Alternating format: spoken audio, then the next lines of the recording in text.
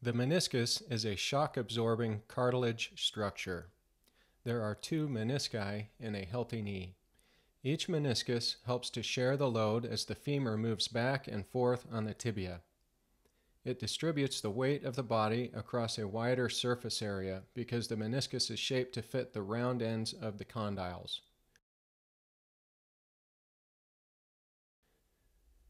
A twisting or pivoting injury can catch and tear the meniscus. This is known as an acute meniscus tear. The meniscus can also begin to wear out over time, fray, and tear. This is known as a degenerative tear. Meniscus tears can cause different symptoms depending on their location and severity and also on the shape of the tear.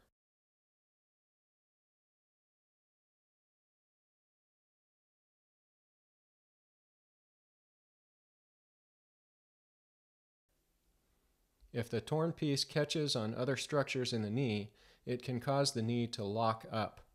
The tear can also be painful, especially with bearing weight and pivoting on the knee.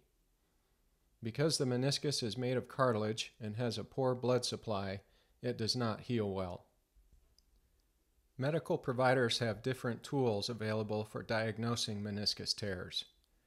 First, they ask the person who is suffering from knee pain about how the pain began and what symptoms they are experiencing. Pain with bearing weight or pivoting on the knee, pain and tenderness at the location of the meniscus, and locking up of the knee joint all raise suspicion of a possible meniscus tear. While the menisci are not visible on x rays, x rays are important for ruling out other causes of knee pain, such as fractures, loose bodies, and osteoarthritis. A meniscus tear can, however, usually be seen on an MRI. Once a meniscus tear is identified, the decision is often made to proceed with knee arthroscopy.